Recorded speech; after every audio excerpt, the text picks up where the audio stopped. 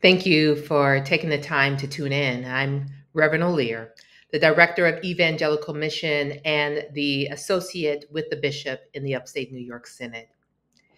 There will be two readings for today, and the primary one I will read here, but the Luke text, chapter 4, will be within the sermon itself. Psalm 137. By the rivers of Babylon, there we sat down, yea, we wept when we remembered Zion, we hung our harps upon the willows in the midst of it.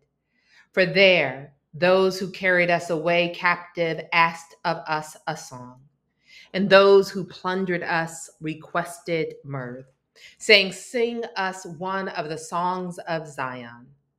How shall we sing the Lord's song in a foreign land? If I forget you, O Jerusalem, let my right hand forget its skill. If I do not remember you, let my tongue cling to the roof of my mouth. If I do not exalt Jerusalem above my chief joy. Remember, O Lord, against the sons of Edom this day of Jerusalem, who said, Raise it, raise it to its very foundation. O daughter of Babylon, who are to be destroyed. Happy the one who repays you as you have served us. Happy the one who takes and dashes your little ones against the rock. Will you take a moment to pray with me?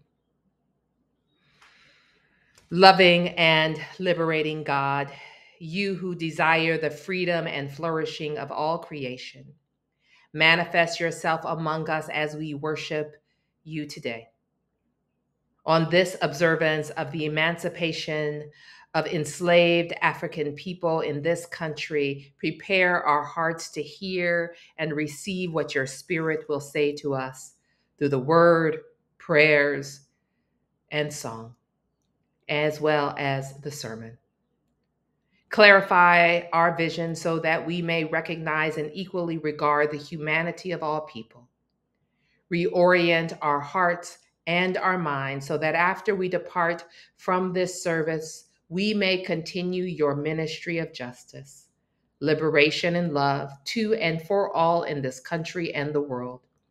It is in the name of Jesus the Christ and through the power of the Holy Spirit we pray. Amen.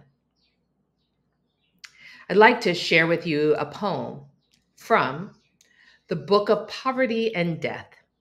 And it is written by the artist, uh, an artist, uh, mystic, Rainer Rilke. Now, his poetry has often been written as poems of devotion to God. This one is called You Are the Poor One. Now, I want you to note, however, that he uses two words invalid, and homeless in his work, where we now know that using person first or identity first language is more affirming, or using words like unhoused. But here is his work. You are the poor one, you the destitute. You are the stone that has no resting place. You are the diseased one whom we fear to touch only the wind is yours. You are the poor like the spring rain that gently caresses the city, like wishes muttered in a prison cell without a world to hold them. And like the invalid, turning in his bed to ease the pain like flowers along the track, shuddering. As the train roars by, and like the hand that covers our face when we cry, that poor. Yours is the suffering of birds on freezing nights, of dogs who go hungry for days. Yours the long, sad waiting of animals who are locked up and forgotten. You are the beggar who averts his face, the homeless person who has given up asking. You howl in the storm. Now, This radical identification of God with the lowly, the downcast, the forgotten is a core theme running like a vein of gold through the Gospels in Jesus' ministry.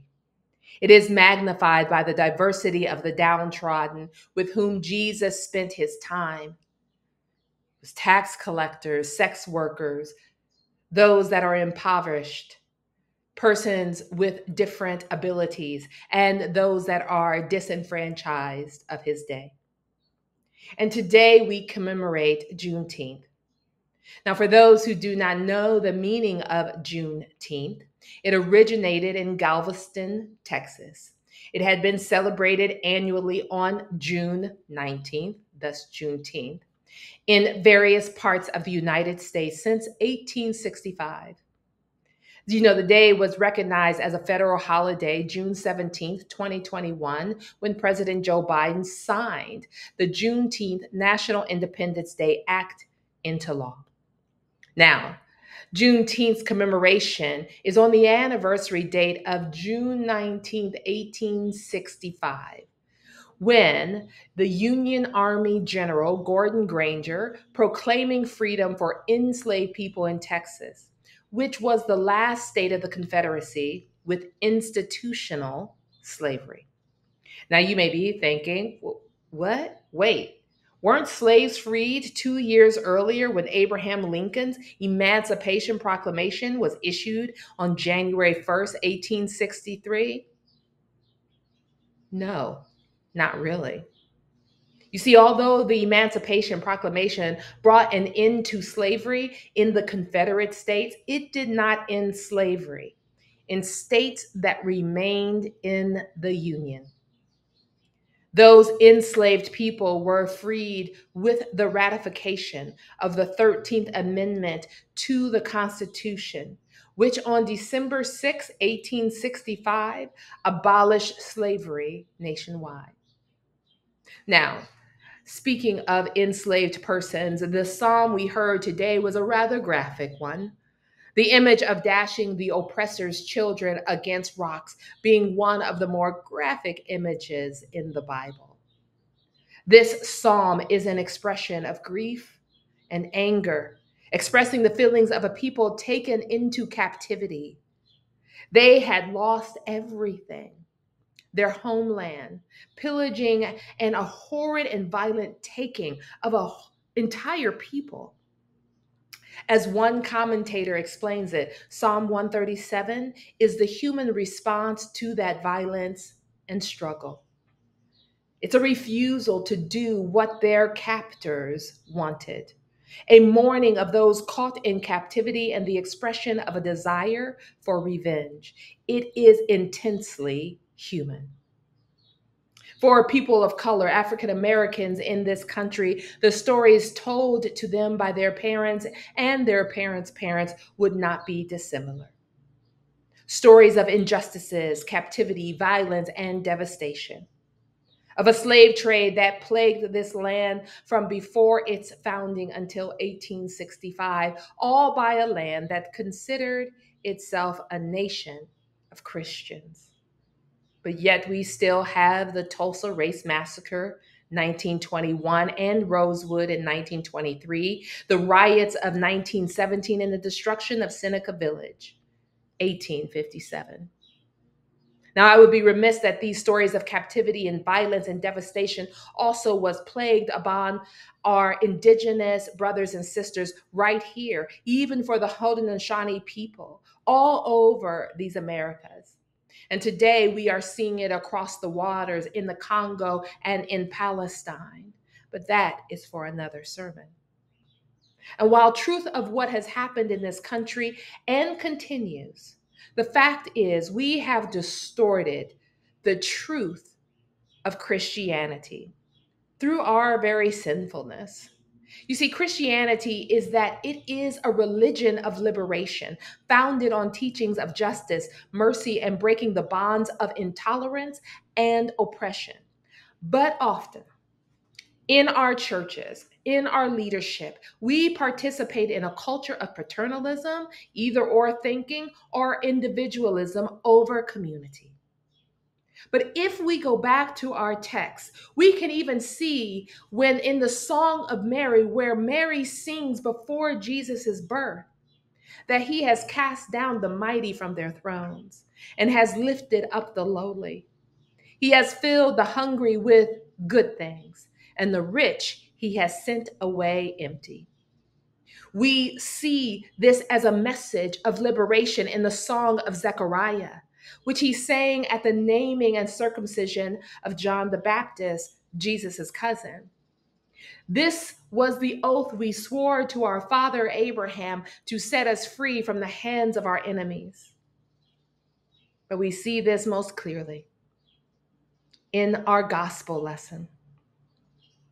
It was so very carefully orchestrated by Jesus. And Jesus was no stranger to utilizing dramatic effect.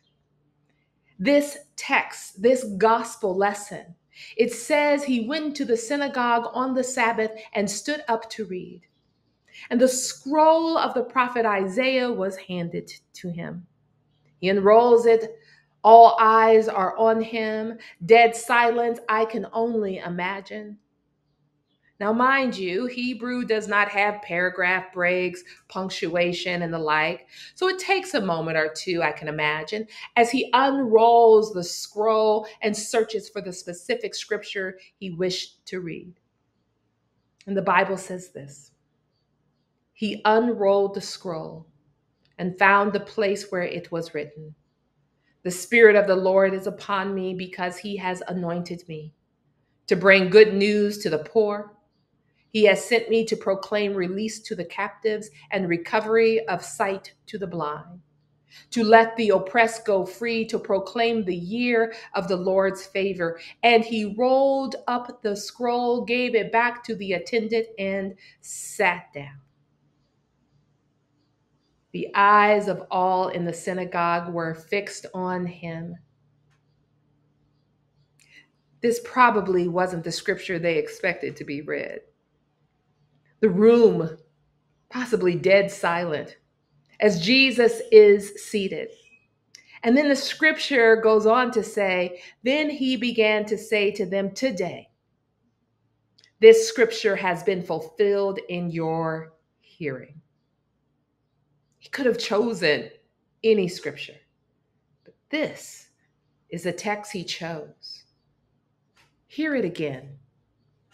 The Spirit of the Lord is upon me because he has anointed me to bring good news to the poor. He has sent me to proclaim release to the captives and recovery of sight to the blind, to let the oppressed go free, to proclaim the year of the Lord's favor.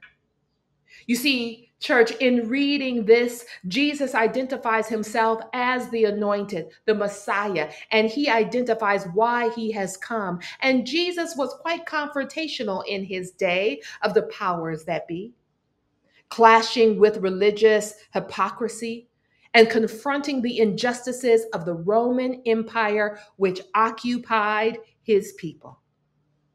He clashed with systems that oppressed people, religious and secular. There was no playing nice with that. And Jesus' clash with the empire was clear to his followers. And ultimately, Jesus' ministry led to his death at the hands of that same empire. His followers understood that the message of liberation, that was the good news. And they clashed with Rome, unwilling to relent in preaching the good news of equality. The text says, As many of you as were baptized into Christ have clothed yourself with Christ. There is no longer Jew or Greek. There is no longer slave or free. There is no longer male or female, for all of you are one in Jesus Christ. But we have this split and many of our early disciples and early Christians died a martyr's death. They knew they stood in the lineage of prophets who were calling God's people to justice and mercy. Jesus, the prophet of prophets, And Jesus died this prophet's death just as many before him and many since. And the prophet Amos is kind of like, for me, uh, the prophet Kendrick Lamar of biblical times. Sharing the message from God, quotes the Lord as saying, I hate, I despise your festivals and I take no delight in your solemn assemblies. Even though you offer me your burnt offerings and grain offerings, I will not accept them and the offerings of well being of your fatted animals, I will not look upon. Take away from me the noise of your songs. I will not listen to the melody of your hearts. But let justice roll down like waters and righteousness like an ever flowing stream. Justice. It is justice that God seeks you know, Oscar Romero, a bishop in the Roman Catholic Church um, in El Salvador, said this A religion of Sunday Mass, but unjust weeks, does not please the Lord. He also speaks very profoundly of a gospel of liberation where he says, a church that doesn't provoke any crisis a gospel that doesn't unsettle, a word of God that doesn't get under anyone's skin, a word of God that doesn't touch the real sin of the society in which it is being proclaimed. What gospel is that? Our faith is not here to make us feel comfortable and to ease our conscience. It is here to transform us and to transform this world. We cannot pray in the Lord's Prayer for God's kingdom to come here on earth as it is in heaven if we are working in ways contrary to it. Otherwise, we are worse kind of hypocrites, the kind in whom Jesus clashed with. I, I like the message version of Amos. It's not a, you know, it's just as rendering, right, in modern language. And for Amos 521, um, in a more modern context, it says this I can't stand your religious meetings. I'm fed up with your conferences and conventions. I want nothing to do with your religion projects, your pretentious slogans and goals. I'm sick of your fundraising schemes, your public relations and image making. I've had all I can take of your noisy ego music. When was the last time you sang to me? Do you know what I want? I want justice, oceans of it. I want fairness, rivers of it. That's what I want. That's all that I want. What I am finding more and more while I work within these three expressions of the church is that many of our leaders do not want to confront the hard realities that do not directly impact them. They would rather stay in the comfort of their seats and think that they can't create comfort and discomfort in a healthy way. What many times happens as form of comfort when it doesn't impact us is just like what happened to the enslaved persons in Texas that didn't know that they were free. But when we are free of mind and heart, we are freed people that free people. And Christianity is not just concerned with matters of social justice, Rather, Christianity is a commitment to confronting injustice. That is our Lutheran faith. And Jesus modeled this, and he clashed with oppressive systems. You know, the first few hundred years of Christianity modeled a radical faith committed to the work of justice, mercy, and confronting the evil of its day. And there are glimpses of it. Don't let me say that it is not. But when Constantine came up with a brilliant plan to squash this threatening movement. He made Christianity like his bedfellow and watered down the faith, institutionalizing this previously radical movement. And by and large, Christianity has remained this watered down, complacent to patriarchy, misogyny, slavery, crusades, white supremacy culture, consecrating countless wars, and so much more. Christianity, Christianity is a religion of the people, by the people, for the people. And the radical roots of our religion are being reclaimed. I believe that now. And if we look back in the March of in March of 1965, the Reverend Dr. Martin Luther King Jr. had an essay published, Let Justice Roll Down. And he wrote these words: The fluidity and instability of American public opinion on questions of social change is very marked. There would have been no civil rights progress, nor a nuclear test ban treaty without resolute presidential leadership. The issues which must be decided are momentous. The contest is not tranquil and relaxed. The search for a consciousness will tend to become a quest for the least common denominator of change. In an atmosphere devoid of urgency, the American people can easily be stupefied into accepting slow reform, which in practice would be inadequate reform. Let justice roll down like waters in a mighty stream, said the prophet Amos. He was seeking not consensus, but the cleansing action of revolutionary change. America has made progress toward freedom, but measured against the goal, the road ahead is still long and hard. There is still great work before us, beloveds. And may we work not for slow reform, but that cleansing action of revolutionary change of which King speaks to. But there is at least one more piece to this equation. As we work to break the chains of oppression in our own day, following in the footsteps of Jesus Christ, let us also remember that all oppressors are themselves slaves to some fear, anger, bigotry, and hatred. And let us remember that they too are our brother and sisters on a path towards redemption. And as Ruth King says, racism, and you fill in the blank, is a heart disease, but it's curable. But peace is a product of justice, but justice is not enough. Love is also necessary, the love that makes us feel that we are brothers and sisters and properly what makes for true peace. Peace is the product of justice and love caught in a network of interconnection and dependency until we are all free. None of us are free. May we therefore continue the good work and continue to bring the good news. Together, may we seek justice, love mercy, and walk humbly with God. Thanks be to God. Amen.